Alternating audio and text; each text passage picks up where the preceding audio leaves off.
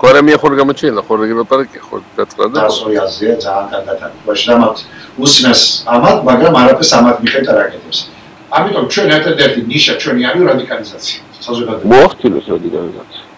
რადიკალიზაცია გამოდის აი ნამდვილად იმიტომ რომ ფეხზე დავდგებით აი ნახავთ თუ არა. კვესტაზე არის ის რაც უნდა იყოს ათი პროპაგანდა სულ.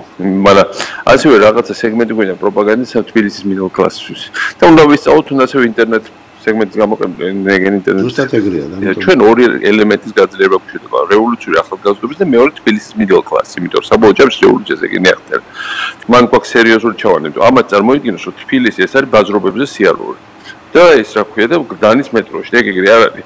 ისიც არის მაგრამ განამწყვეტი რევოლუციური მუხტი არის აი ეს self made ბიზნესები თბილისში. ჩვენ ჩვენ მოხდება ეგენი არის თავიდან მიგიქა აი და თანამშრომლებს როგორიათ რომ ამათთან რაღაც დილს მიაყ არა ეს ეს არის ავანტყოფიერია რა ეს არის ამათ თანამარ დააჯვალ თავზე და სანამ დედას არ მოუწყნავ ვერ იგებენ ვერაფერს. ეგრე იყო ხალხი ცხოვრობდა ხო ეხლა თუ ისეთ.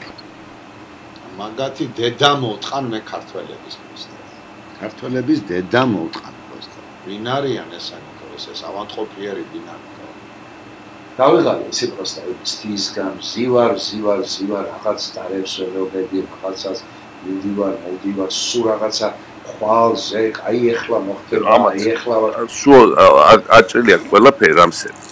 არის რაღაცა ესე აი ეს არჩენები კიდევ უფრო დააბნეხ იმიტომ რომ დააყენეთ უწესი კანდიდატი და ცუდი კამპანია.